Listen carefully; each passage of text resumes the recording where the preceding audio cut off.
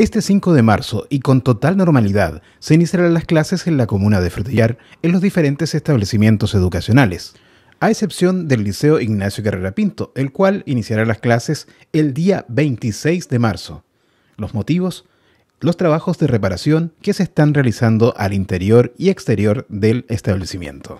Así lo dio a conocer Luis Tejos, DAEM subrogante de la comuna de Frutillar. La mayoría de todos los establecimientos con normalidad están entrando el día lunes 5. Eh, no así el Liceo Ignacio Carrera Pinto, que va a tener un atraso en la entrada de los estudiantes porque eh, las obras que se están desarrollando en el, liceo, que la idea que eh, la empresa hubiese entrado ya a, trabajar en el mes de noviembre, pero con el tema de las elecciones, se tuvo que atrasar. Después, posteriormente a ello, hubo también el tema del mismo tema de las elecciones, pero en la segunda vuelta, que también eh, eh, atrasó un poco este proceso. Por lo tanto, la empresa recién entró allá a trabajar en el mes de diciembre, lo que nos produjo un atraso de un mes.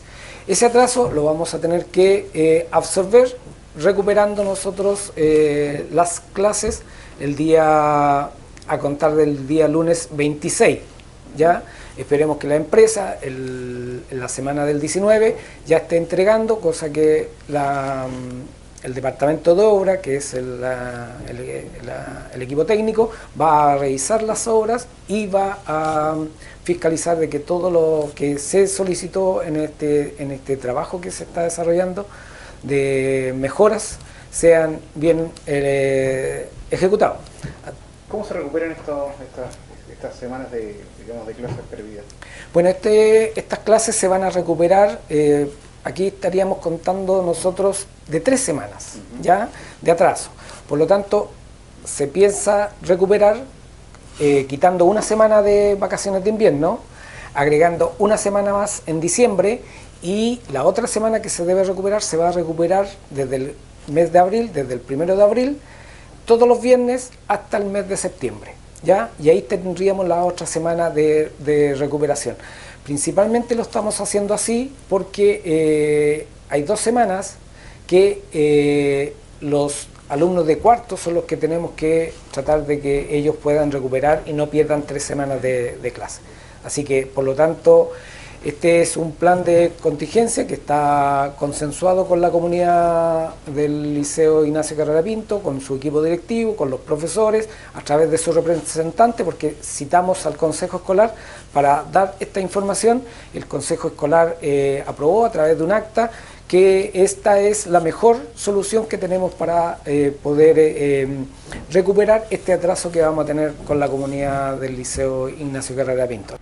Bueno, directora, ya tenemos claro que vamos a tener un, atraso también en el inicio de las clases en el Ignacio de Rapinto, pero también eh, esto implica que los profesores van a estar en otro punto para atender ciertos requerimientos, a lo mejor el tema de matrículas, consultas en general. Cuéntenos un poco acerca de eso. Sí, bueno, eso es correcto. Eh, gracias a la coordinación que el Departamento de Educación hizo con DIECO y gracias a la buena disposición de Paula Mella, eh, vamos a contar con las dependencias eh, multiusos que se encuentran ubicadas al lado de la biblioteca de acá de la comuna. Eh, donde vamos a trasladar toda la parte administrativa para poder atender obviamente a los apoderados, a los estudiantes y a quienes obviamente estén interesados por matrícula, para poder esperarlos obviamente y poder atenderles ahí.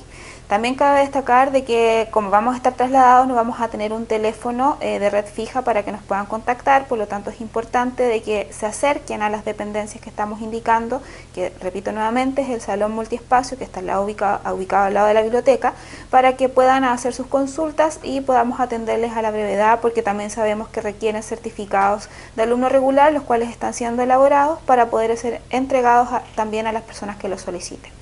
En el tema de, digamos, de los requerimientos de los jóvenes, con, esta, con estas obras que se han iniciado, igual se, se pretende responder a estas solicitudes que tenían ellos por el tema de que a veces tenían goteras al interior del, colegio y todo esto. Sí, eso es correcto. Los estudiantes están bastante conformes hasta el momento. Ellos, eh, a través del Consejo Escolar y su representante, que con el cual nos reunimos también para poder contar todo lo que estaba sucediendo, eh, demostró bastante buena disposición frente a lo que estábamos eh, organizando en busca de la mejora de los estudiantes y principalmente eh, la calidad que, se espera que ellos tengan dentro de la, de la, de la comunidad escolar. Perfecto. Por último, reiterar la fecha de inicio de clase. El inicio de clases para los estudiantes es el día 26 de marzo.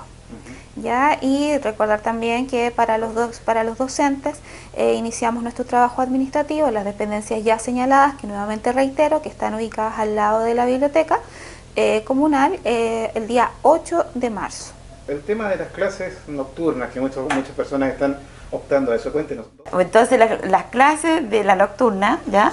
que corresponde también al Liceo Ignacio Carrera Pinto, ellos comenzarán el día 12 de marzo, ya en el centro comunitario de Frutillar.